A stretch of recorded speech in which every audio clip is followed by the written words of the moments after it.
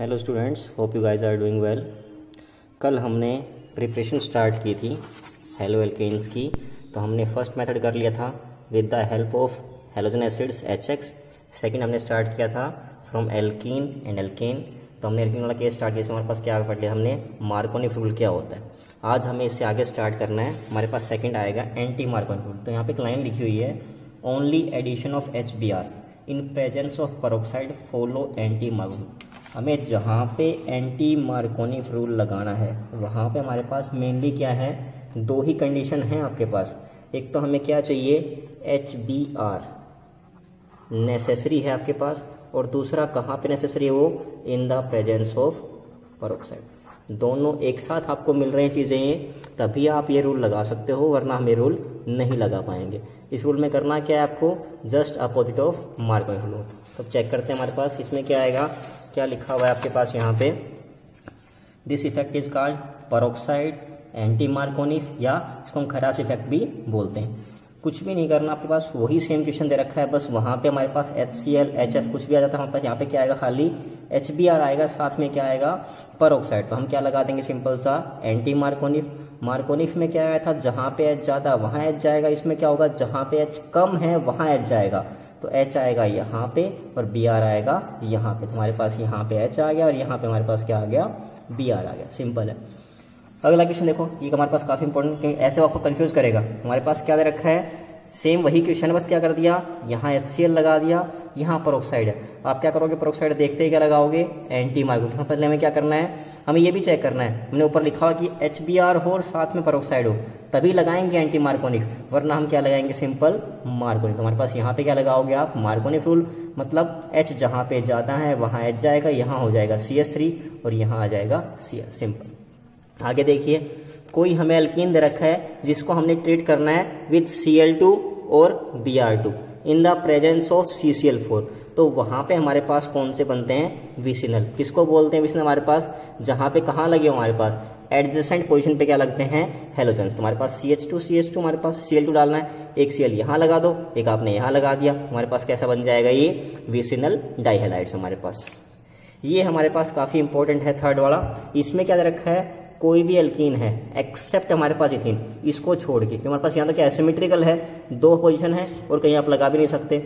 Treated with C L two B R two at high temperature हमारे पास वहाँ से क्या मिलता है आपको? एलाइलिक हेलाइड मिलता है। एलाइलिक ध्यान है हमारे पास एलाइलिक में क्या होता है? हम ऐसे लिखते हैं, तीन कार्बन आएँगे। याद है कुछ ऐसा हमारे पास? एलाइलिक तीन कार्बन हैविंग डबल बॉन्ड हमारे पास क्या आ गया? ये हमारे पास ऐसा कुछ एलाइलिक होता है तो इसमें ये जो कार्बन हमारे पास आएगा। इसको हम क्या बोलते हैं? एलाइलिक कार्बन इसके एग्ज़ाम्पल देखो हमारे पास। ये केस आ गया। बी आर टू डाल दिया आपने। तो इसमें क्या करना है? बहुत सिंपल है। जो एलाइलिक पोजीशन हमारे पास एलाइलिक पोजीशन कौन सी हमारे पास? ये वाली है। यहाँ से एक एच निकालो, यहाँ से एक B R H B R निकल जाएगा। और हमारे पास जहाँ से आपने एच निकाला है, वहाँ क्या लग जाएगा? एक बी आर लग जाएगा। सिंपल हमारे पास यहाँ देखो क्वेश्चन काफ़ी अच्छा है आपके पास। यहाँ पे ऐसे क्वेश्चन एग्ज़ाम में आते हैं। हमने एंट्रेंस वगैरह में भी हमारे पास सिंपली ये साइक्लोहेक्सीन दे रखा है बी आर डाल दिया। और मैं दिख रहा है यहाँ पे क्या है, आपके पास कहाँ लगाऊँ इस बी को मैं? तो हम मोस्टली क्या करते हैं, एक बी आर आपने यहाँ लगा दिया, एक हमने यहाँ लगा दिया। लेकिन इसको थोड़ा समझो हमारे पास, यहाँ पे अटैक हमारे पास कौन सा होना है? एल एलाइलिक होना है। एलाइलिक मतलब क्या हो गया, जहाँ डबल बॉन्ड है उससे अगला कार्बन हमारे पास यहाँ भी लगा सकते हो आप, और यहाँ भी। तो मैंने यहाँ पे लगा के दिखा रखा है, इसको हम सिंपली क्या बोलेंगे एलाइलिक हेलाइड्स हमारे पास। तो ये सारा हमारे पास एल्किन के बारे में था। आगे हम स्टार्ट करते हैं एल्केन से।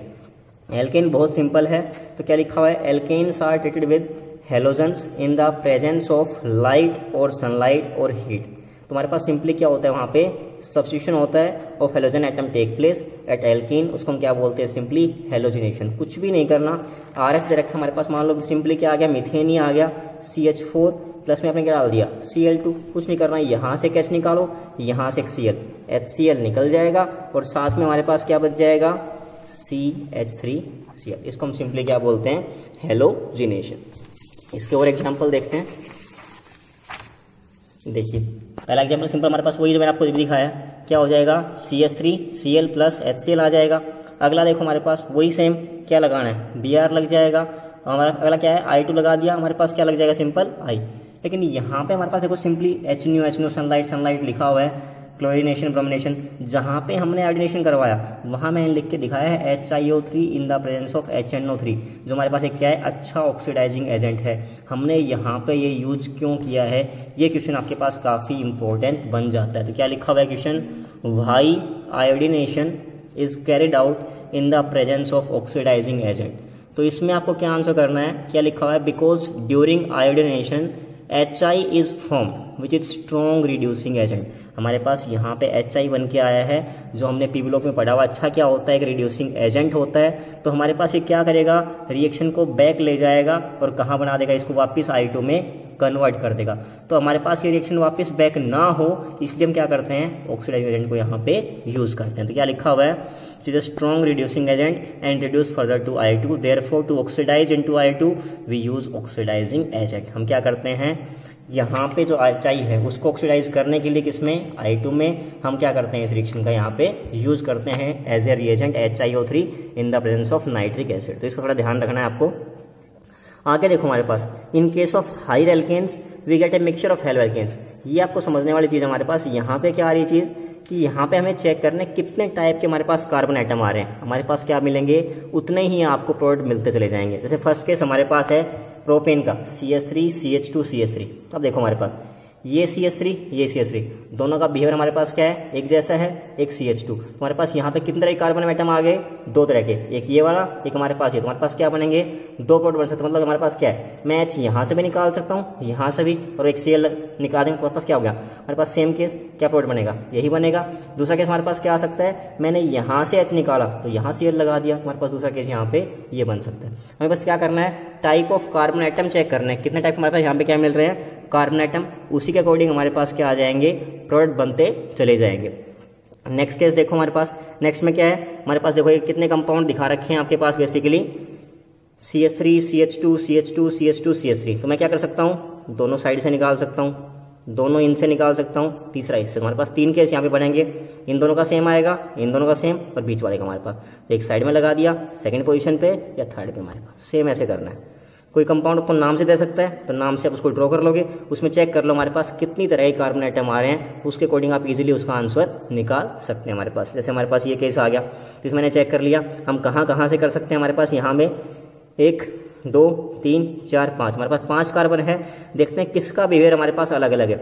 इन दोनों का सेम है हमारे पास। इसका अलग है, इसका अलग है, इसका अलग। हमारे पास क्या आ एक दो, तीन, चार, हमारे पास एक, दो, तीन, चार प्लॉट हमारे पास क्या बन जाएँगे? अलग अलग बन जाएँगे। इनको आप ड्रा करके देखना, आपको समझ में चीज़ आ जाएगी हमारे पास कहाँ से क्या चीज़ आ रही है।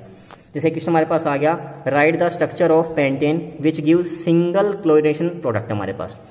क्वेश्चन समझना हमारे पास? हमें पेंटेन के पेंटेन हमारे पास तीन तरह का होता है। कौन कौन सा आपके पास आएगा? एन पेंटेन भी होता है सिंपल चेन आइसो हमारे पास, एक नीचे लगा दिया। नियो हमारे पास, ऊपर नीचे लगा दिए। हमें ये बताना है, इन तीनों में से हमारे पास, ऐसा कौन सा पेंटेन है जिसमें आपको हमारे पास सिंगल प्रोडक्ट मिलेगा? हमारे पास कौन सा है? नियो वाला कि हमारे पास क्या है? ये सारे C S three C S three C S three हमारे पास, सबका नेचर हमारे पास क्या है? एक जैसा, आप कहीं से भी अच्छा लगा, हटा के एक सी एल लगा सकते हैं। तो हमारे पास इसको हम क्या बोलते हैं सिंपली आपके पास है सिंगल क्लोरिनेशन प्रोडक्ट हमारे पास। तो हमें यहाँ तक करना है आज ये। हमने मेथड दो पूरे कर लिए हैं, एल्केन से और एल्कीन से हमारे पास।